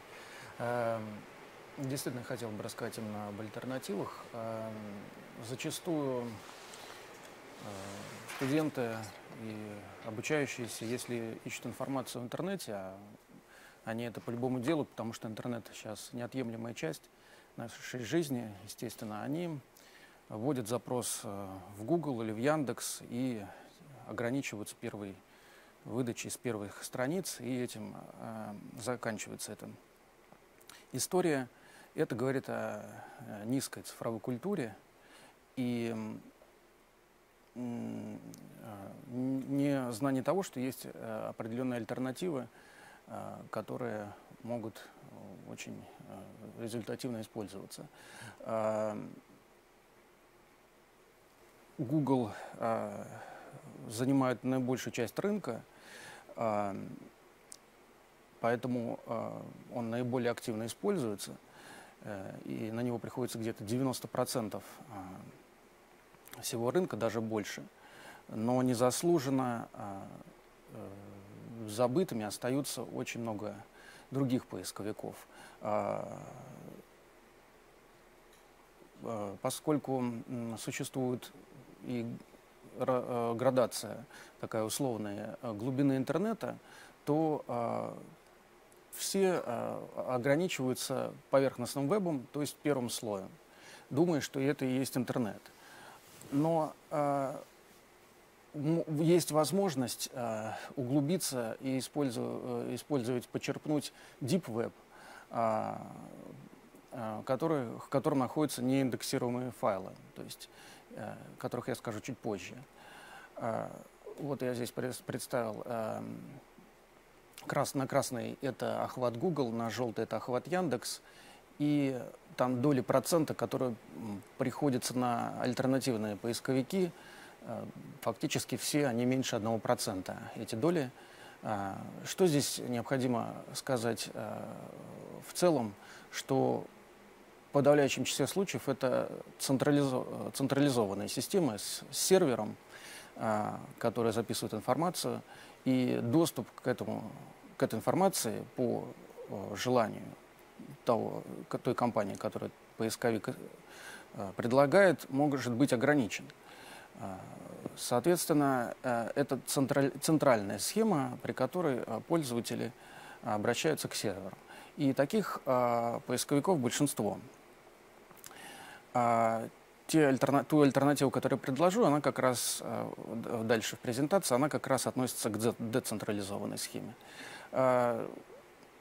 Ключевым моментом в использовании централизованных поисковиков является то, что а, вам показывают не то, что вы хотите, а то, что вам пред, а, предлагается.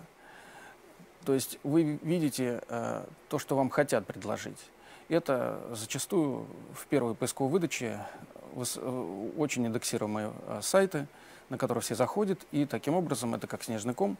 А, популярность этого сайта все больше увеличивается и поднимается выдача. Но это не Deep Web зачастую это продающие сайты э, и так далее. А, ну, э, естественно, разработанные уже давно широко используются ключевые, поиск по ключевым операторам. А, эти операторы практически повторяют друг друга во всех централизованных поисковиках. А, и, естественно, символы – они полезные, можно убрать слово из поиска, то есть специфицировать запрос, а, можно уточнить поиск. Э, э, это, безусловно, конечно же, ведет к цели, а, но, соответственно, а, это находится внутри всей этой системы централизованной можно разделить эти операторы на документарные и недокументарные, те, которые ищут информацию а, в виде документа, в виде файла. Зачастую это PDF-файлы, а, файлы Word, Excel, либо это просто общий, общий потоковый текст а, и, и так далее.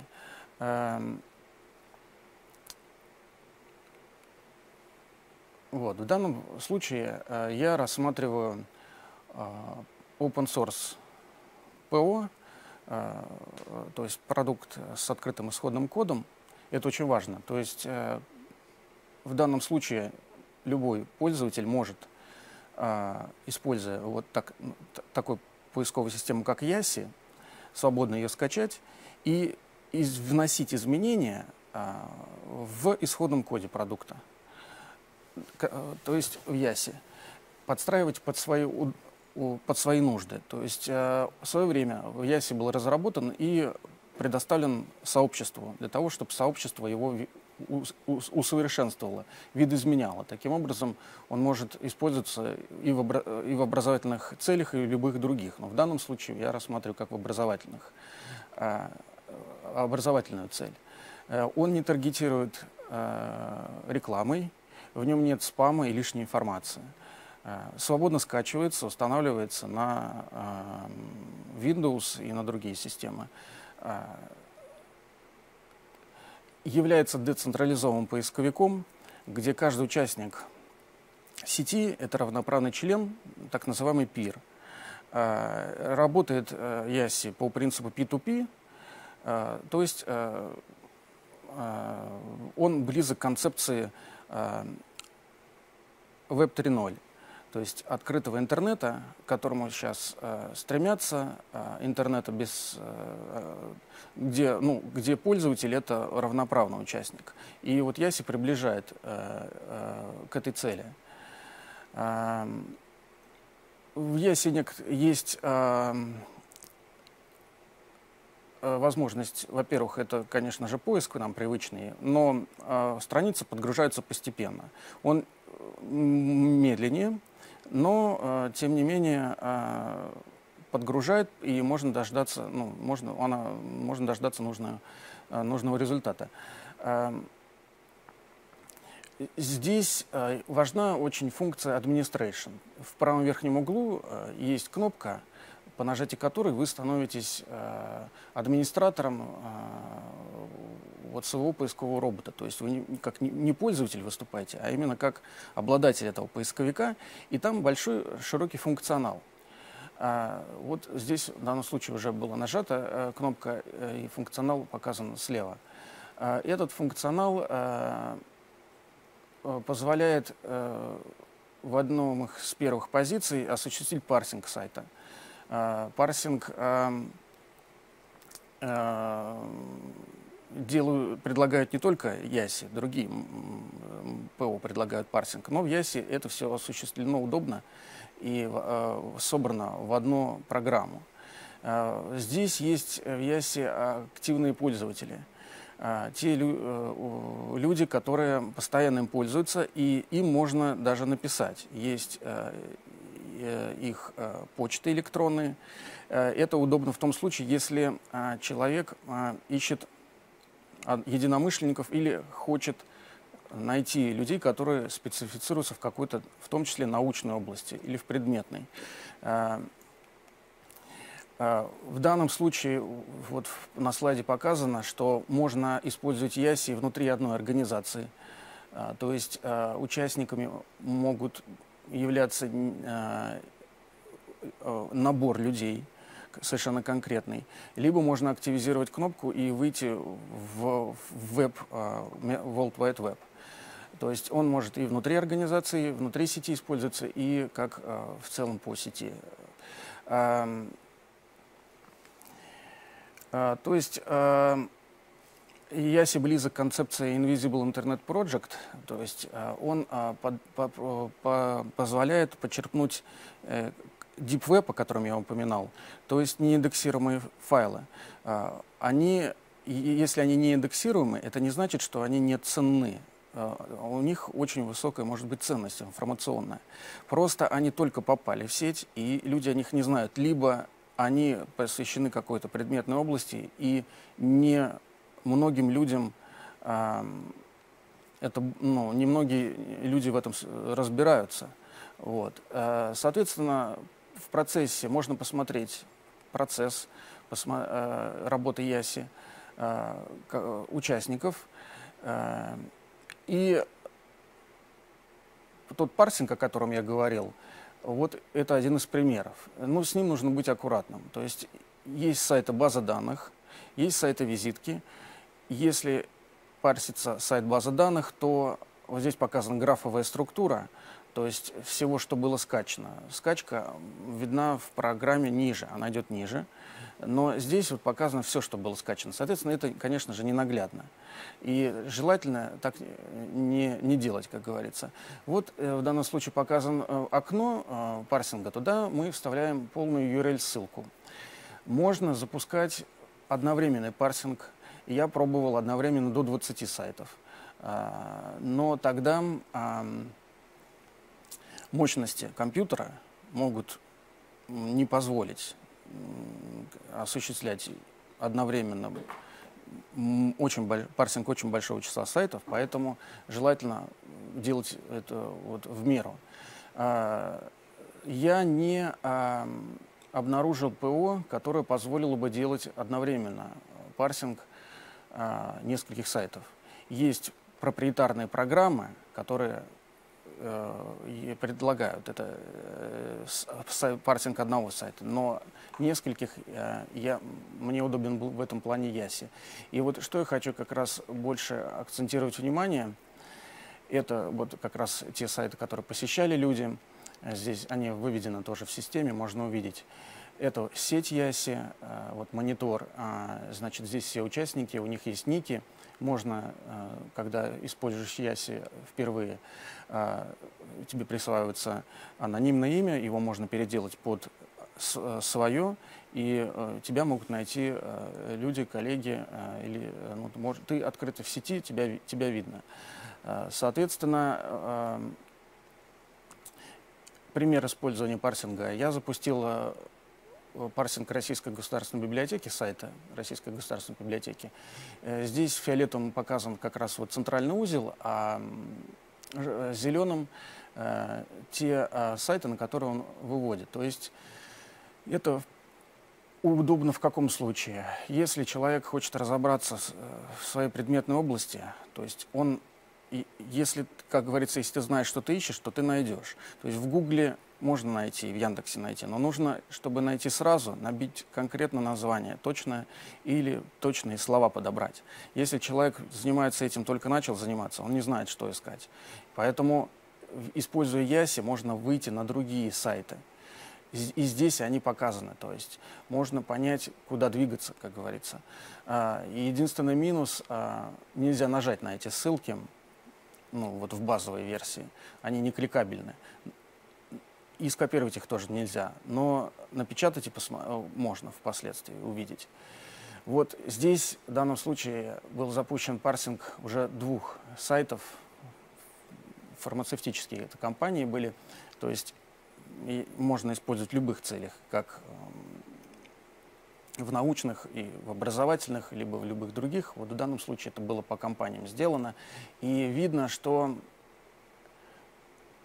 сайты ссылаются друг на друга, и, и, и тот же, те же компании ссылаются на какой-то один сайт тоже. То есть можно вот разбираться, видеть эти взаимосвязи. А, и в данном случае вот я показываю пример, что нашими студентами а, на занятиях был запущен Яси, и было выбрано два узла. Fisher Technic, компания, которая продает а, роботы, Соответственно, был запущен парсинг сайта Fisher Technic и его э, э, представительство, которое реализует продукцию Fisher Technic в России. И видно, что сайты ссылаются друг на друга и на какие другие узловые вещи они переводят. Потом, переходя на другой узел, этот узел раздает на другие сайты. То есть то же самое можно запустить в, своих целях. В, данном случае вы видите, что было запущено всего лишь одновременный парсинг двух сайтов, но графовая структура очень развитая.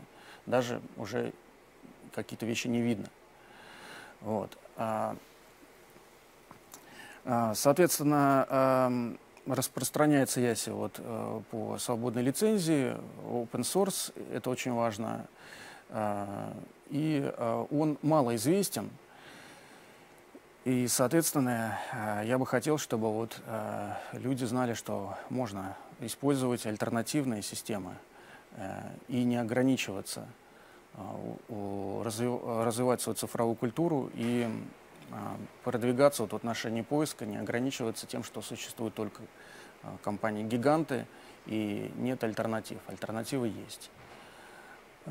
Есть в Гугле надстройки, чтобы создать собственный поисковик, но это больше похоже на надстройки над самим Гуглом. Там, как в фильтре, задаешь критерии свои, и возникает иллюзия, что у тебя собственный поисковик. Но все равно это централизованная система данных, сохраняются, и все равно это поисковик Google. Можно использовать open source, такой как Jupyter Notebook – и вводить, писать скрипты на питоне, вызывать соответствующие библиотеки, Beautiful Soup 4, и, и requests, и написать э, самому парсер. Можно запустить тот же самый Google Colab, а, блокнот, э, в нем вызвать те же самые библиотеки и написать скрипт, создать парсер под собственные нужды. Но в данном случае все было собрано в Ясе создателем а, в одном месте, все по кнопкам, кликабельно и, соответственно, а, удобно. Альтернативой также Гуглу и Яндексу, и гигантам является DuckDuckGo. А, там нет цензуры, и э, сведения э, обеспечивается конфиденциальность присутствия в сети. Вот, там развитые тоже поисковые роботы тоже, несмотря на вот такой интерфейс, достаточно простенький, он не пользуется особой популярностью, кто-то о нем знает, но он проигрывает в популярности другим централизованным поисковикам. Ну, есть еще борт-ридер, он собирает данные с форумов, тоже полезная вещь, когда ты узнаешь пользовательский опыт предыдущий. То есть, когда ты набираешь в Гугле какие-то таблетки, то тебе выпадают сразу аптеки, магазины, которые эти таблетки продают. А если набирать в борт-ридере таблетки какие-то, то там будут данные о э, тех побочных эффектах, э, плюсах, минусах, то есть которые уже пользовательский опыт. Это там не, не продают ничего. То есть там говорится о том, как это все в жизни. А, есть еще такой ресурс Вольфарам Альфа, он учебный, Соответственно, а, но он на английском языке полностью. Но там есть, кстати, тоже учебный материал, он ближе к школе. А, прямой альтернативой Яси он не является.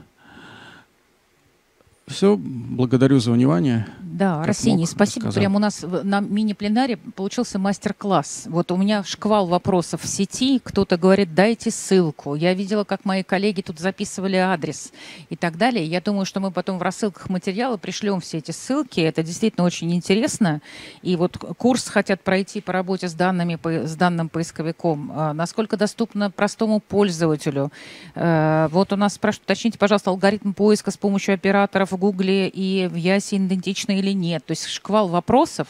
А, Я Мне... могу не, некоторые дать. Давайте, отвечайте. Ответы. Только да, быстро, да. у нас очень мало времени. Да.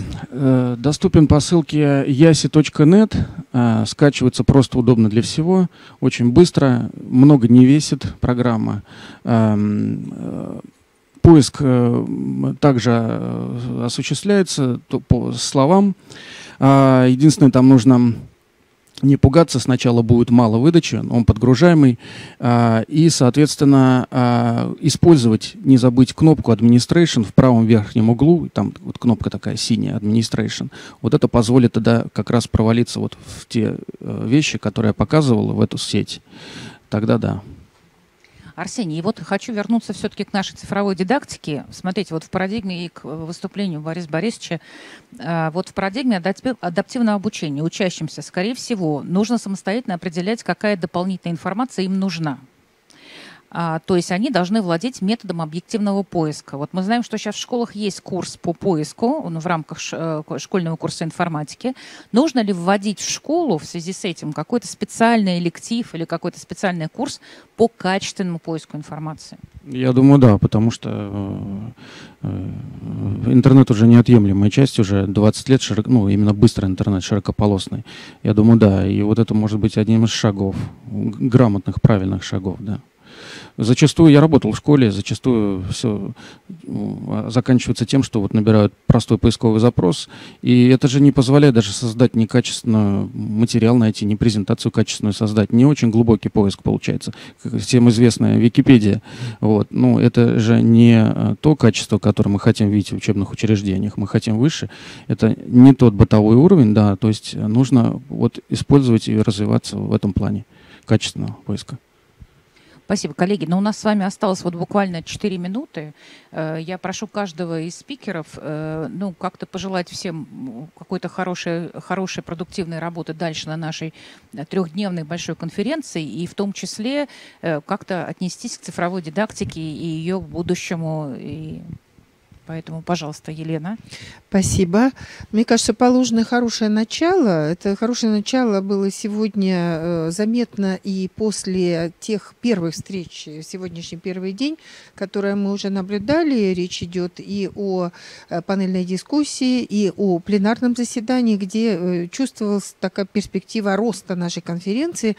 И мне кажется, в рамках нашего мини-пленара нам удалось выстроить новые конфигурации смыслов, которые очень интересный для понимания того, как нам э, выстраивать, э, строить и продолжать обсуждение цифровой дидактики, которая пройдет в рамках секционных заседаний. Я признательна всем за внимание. Те, кто слушал онлайн, э, замечательно, что вы с нами. И очень признательна, коллеги, вам за сегодняшнюю кампанию. Она мне показалась очень интересная, перспективная, очень хорошая, качественная, как мне видится, общение у нас состоялось. Спасибо большое. Спасибо. Я тоже от себя присоединяюсь к словам благодарности. Причем начну, наверное, с тех людей, которые придумали вообще этот формат. Э, мне это кажется очень хорошей идеей, вот эта большая конференция, потому что мы, ну, в силу того, что мы большой университет, и мы вот сидим по институтам, мы не так часто общаемся, как это стоило бы делать. И замечательно, что у нас есть такая возможность собраться все вместе и понять, а вот у МГПУ, как у Эм, организации, есть ли какая-то магистральная линия, есть ли какая-то стратегическая линия развития. Мне кажется, что вот сегодняшний разговор, и который до этого был, он как раз позволяет говорить о каких-то целях и стратегиях и понять, кто чем занимается для того, чтобы получить какой-то, ну вот, ну, ощущение симбиоза того, что мы двигаемся, может быть, по, по разным тропкам, но в целом вот в, в одном и том же направлении. Я также присоединяюсь э, к призыву э, пойти на секции, потому что там тоже будет очень много интересных докладов. И э, давайте чаще встречаться, чаще обсуждать то, что мы делаем. А, да, присоединяюсь. Мне очень близка идея калейдоскопа, когда мы можем посмотреть на самые разные исследования, обменяться мнениями, нашим исследовательским, научным опытом. И очень надеюсь, что это не единственная конференция, это станет традицией, в лучших традициях традиционалистов. Да, я от себя могу сказать, что э, работ, проработал год в МГПУ, и я являлся школьным учителем и в колледже работал. И я очень рад, что э, у, на этой площадке появилась возможность вообще открыто говорить и свое мнение и показывать результаты. Я очень удивлен и рад этому.